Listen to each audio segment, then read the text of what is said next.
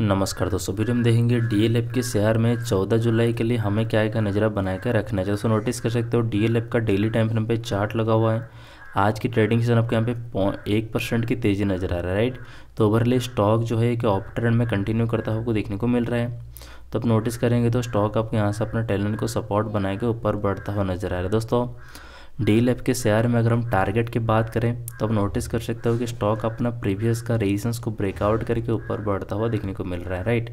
तो इसी कंडीशन में स्टॉक यहाँ से ऊपर जाने की प्रोबेबिलिटी जो है बढ़ जाता है।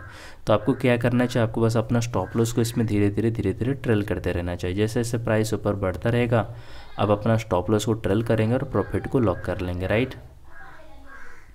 अब हम बात करेंगे नेक्स्ट ट्रेडिंग सेशन की। दोस्तों नेक्स्ट ट्रेडिंग सेशन के लिए रेजिस्टेंस लाइन रहेगा 504 का। दूसरा रेजिस्टेंस लाइन रहेगा 516 में। सपोर्ट लाइन दोस्तों आपको देखने को मिल जाएगा पे फोर डबल एट या फोर एट नाइन का। तो वीडियो लाइक करें, शेयर करें, सब्सक्राइब करें। धन्यवाद।